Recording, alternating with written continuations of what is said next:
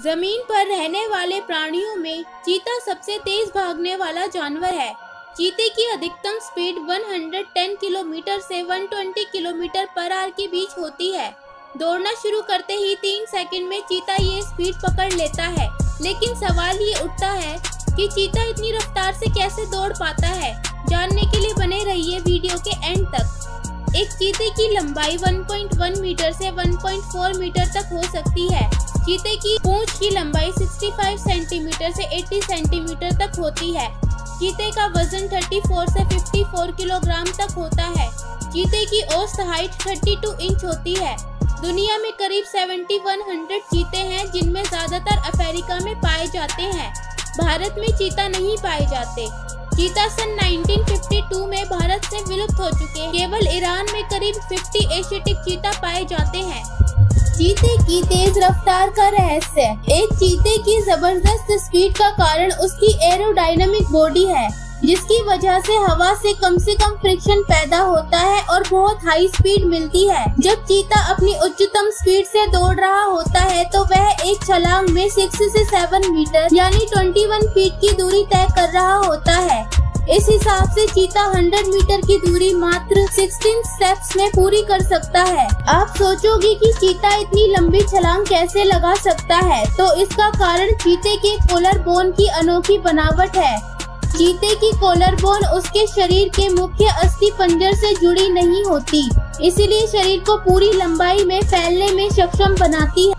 चीते की स्पीड तो अद्भुत है। लेकिन चीता अपनी टॉप स्पीड पर 20 सेकंड से अधिक नहीं दौड़ सकता है, क्योंकि इतना फास्ट दौड़ने की वजह से उसकी हार्ट रेट इतनी तेज हो जाती है कि ऐसी एक दौड़ के बाद उसे 30 मिनट्स का आराम करना पड़ता है। चीता अपनी एक दौड़ के कुल समय का आधा टाइम हवा में ही रहता है। चीते की पूंछ की लंबाई उसके शरीर की लंबाई से आधे से ज़्यादा होती है। यही पूछ उसे दौड़ते समय अचानक तीखा मोड़ सात टन लेने में मदद करती है। चीता अपनी हाई स्पीड में ज़्यादा देर तक क्यों नहीं दौड़ सकता? चीता एक जानवर है, कोई मशीन नहीं। इसलिए चीते की बॉडी की कुछ शारीरिक सीमाएँ हैं। जब चीता एकदम से ज़ीरो से 96 किलोमीटर की रफ्तार पकड़ता है तो उसके शरीर का तापमान 40.6 डिग्री बढ़ जाता है। इस प्रकार 15 सेकंड दौड़ने के बाद उसके शरीर का तापमान 43 डिग्री तक बढ़ जाता है। इसकी वजह से चीते को अपनी स्पीड धीमी करनी पड़ती है। नहीं तो हार्ट रेट और ब्लड प्रेशर बढ़ने से उसकी मृत्यु भी हो सकती है। चीता ऐसा शिकार चुनता है कि कम दूरी दौड़ना पड़े, क्योंकि कम दूरी में उसकी स्पीड को कोई टक्कर नहीं दे सकता है।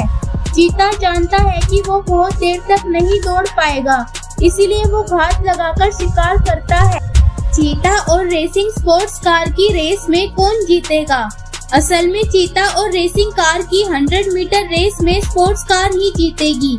लेकिन असलरेशन की बात की जाए तो दुनिया की कोई भी कार चीता का मुकाबला नहीं कर सकती। इसका मतलब ये है कि चीता और कार की रेस के शुरुआत में चीता ही आगे होगा, लेकिन बाद में रेसिंग कार स्पीड पकड़ लेगी और आगे निकल जाएगी। चीता एक झटके में 112 से 128 किलोमीटर पर आर का असलरेशन पैदा कर सकता है, जो कि किसी भी कार के बस के बाहर की बात है। उम्मीद है आपको वीडियो पसंद आया होगा। अगर हाँ तो लाइक एंड शेयर कर दे। अगर अभी तक आपने चैनल को सब्सक्राइब नहीं किया तो इसे जल्दी से सब्सक्राइब कर ले और नोटिफिकेशन बेल को भी प्रेस कर दे, ताकि सभी न्यू वीडियोस की जानकारी सबसे पहले आपको मिले।